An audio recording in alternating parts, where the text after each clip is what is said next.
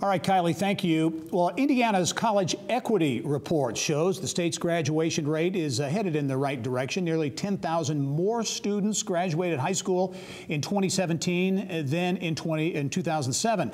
The vast majority of that growth was among minority students. Almost one third of all high school graduates were from low income households in 2017.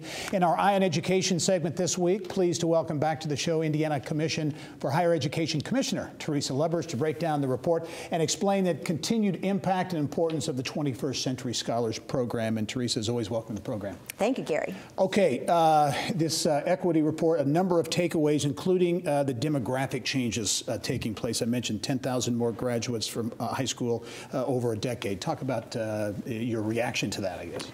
Well, we know that we need to do a better job with underrepresented populations, and this is race, ethnicity, gender, geography, socioeconomic status. We look at all those areas in the in the equity report. Uh, we're focused as a state of having at least 60% of Hoosiers having some sort of a quality credential uh, beyond high school by 2025.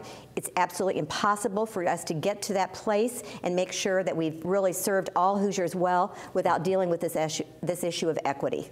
Socioeconomic uh, status, about a third of all high school graduates were from low-income households in 2017. Black and Hispanic students, uh, two of the fastest growing racial groups, uh, most likely to come from those low-income households. What kind of uh, challenges and opportunities uh, does that present? Well, a point, one data point that concerns me a lot. In the last five years, we've seen 8% uh, population drop in the African American community in college going. Mm. So while we've seen a, some drop overall with the population, we've saw, seen a significant drop with the African American population. Mm. With the rural population, we see that only one in five those, of those who live in rural America complete college. So I think we need to look at these populations in very specific ways and figure out not only how do we help them afford higher education, but how do we have the supports in place to make sure they're successful. Yeah. How does the uh, 21st Century Scholars Program play into this? I know uh, a big milestone coming up next uh, next year, the 30th anniversary uh, of that program. Talk about the program and its impact and how it, it really affects some of these issues. Well, when you look at the issues of equity and the associated achievement gap, only one population is on target to close the achievement gap,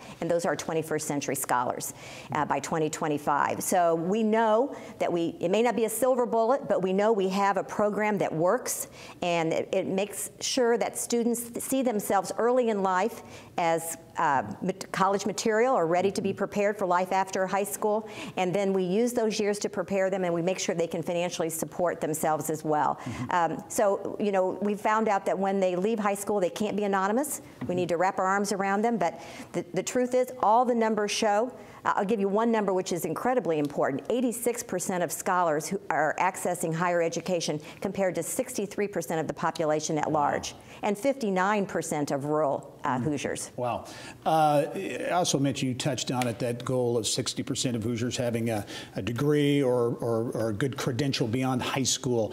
Uh, can you give us an update? I mean, how do you think Indiana is right. in progressing toward that goal? Well, we're at almost 44%. Uh, so when we started about 10 years ago, we were a little over 33%. percent mm -hmm. What we didn't include at that point that we do now were quality certificates. Mm. So we've received some of that bump from actually counting in certificates. And we're very focused in Indiana, making sure not we don't think of this just as four-year degrees or beyond. We're thinking quality credentials beyond high school.